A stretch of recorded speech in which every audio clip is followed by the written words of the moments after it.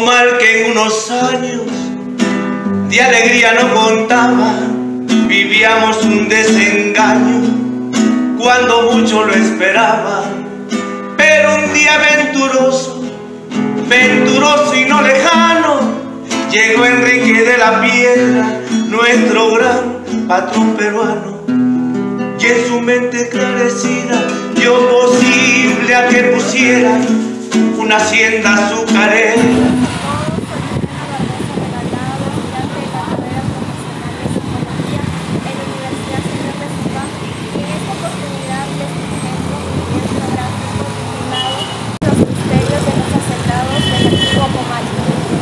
Pomalca está ubicado a 6 kilómetros de la ciudad de Chiclayo en la región Lambayeque.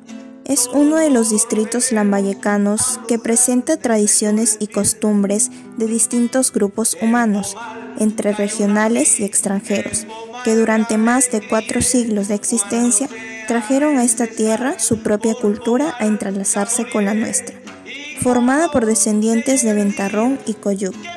Resulta atractivo conocer la historia de este distrito y despierta la curiosidad de saber un poco más de ello. Pomalca es poseedora de grandes leyendas e historias, así que acompáñenme en este viaje a conocer un poco más sobre ello. Nos alejamos un poco en la ciudad para llegar al Cerro Boró. Es aquí donde se da lugar a una de las leyendas más populares de Pomalca, el Gran Pacto. Este cerro encierra muchos misterios e historias que a continuación vamos a conocer. Nos encontramos en la vivienda de la señora María González, que en esta oportunidad nos brindará una entrevista. Acompáñenme. Bueno, primero muchas gracias por recibirnos y empezaremos con las preguntas. ¿Tiene conocimiento de la familia Piedra?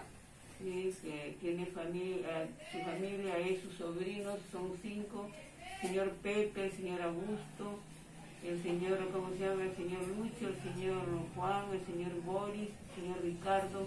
¿Usted algún conocimiento de algún mito de Pomalca? Sí, el señor de la piedra se compactaba en, en el, cerro de, el cerro del Pozo mm, ¿Y es cierto que ofrecía un alma de cada trabajador así? ¿Se mantiene? Sí, decían que ofrecía un, un alma de un trabajador cada tiempo. Eh, para obtener fortuna. fortuna.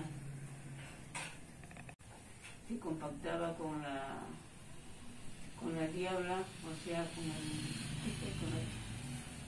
que se iba, se reunía con él, con ella en la madrugada en se iba en caballo. Ahora nos encontramos con el señor Ángel Abanto Ballena. ¿Cuántos años ha trabajado usted en la empresa Pomalca? Yo en la empresa Pomalca, yo trabajé en el año 70, un 3 de octubre de 1970. Pomalca. Eh, ¿Me podría narrar algún mito de, de la muerte de los trabajadores acá en Pomalca? Sí, yo lo puedo decir. En la época de antes, los trabajadores más antiguos que yo, hablaban que los piedras trabajaban con el diablo, en un sitio boró. ¿Qué tipos de accidentes han venido pasando a lo largo del tiempo en la fábrica? ¿no? En la época que yo estaba trabajando, había un señor Augusto Chicoma. Y el señor Augusto Chicoma, como trabajador, lo ordenó el jefe de guardia que vaya a señalar un, un hueco arriba de un calentador de donde hervía el azúcar, el jugo, y desgraciadamente disparó y se, abrió y lo botó de, de una altura de 9 metros. Cayó el señor, el trabajador, cayó al suelo y ahí nomás quedó. Muchas gracias, eso sería todo. Los últimos hacendados de la piedra, dueños de la hacienda Pomalca, fueron una de las familias más adineradas del país y considerados como los varones del azúcar. Hubo un tiempo en que los dueños de la hacienda Pomalca pasaron por una gran crisis económica. Su fortuna iba decayendo y don Augusto de la Piedra hizo un pacto para engrandecer su hacienda. Según sus trabajadores, estos habían establecido un pacto para agrandar sus riquezas. El pacto consistía en entregar el alma de un trabajador cada año o cuando querían recibir más dinero u oro. En cambio del alma del trabajador, cada cierto tiempo él podía recuperar la grandeza de su hacienda. Enterados de este pacto, los trabajadores empezaron a hacer uso de amuletos para ahuyentar el mal, pero contra este pacto no pudieron. Hubo un día en el que ocurrió un gran incendio en la fábrica que ocasionó la muerte de un trabajador. Por la noche, algunos pobladores vieron cómo don Augusto se llevaba en sus brazos al trabajador muerto hacia su auto y luego se dirigía al cerro Boró y al entregar a la víctima regresaba con un saco lleno de oro. Se dice que estos tesoros se iba y los enterraba a la Huaca San Juan. Por este pacto realizado es que aún se dice ver el alma de don Augusto por los calderos de la fábrica. Este pacto aún sigue vigente, porque cada cierto tiempo ocurre un accidente en la fábrica.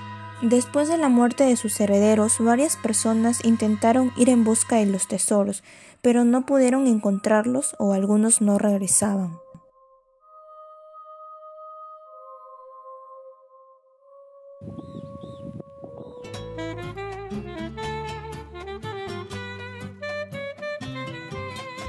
Muchas son las leyendas de Comalca, unas más atractivas que otras, que podrían cautivar al oyente. En su mayoría están relacionadas a la fábrica y por otro lado eh, nos hablan los seres de fantasía. Lo que importa aquí es que las costumbres y creencias deben permanecer a lo largo del tiempo entre los pobladores comalqueños.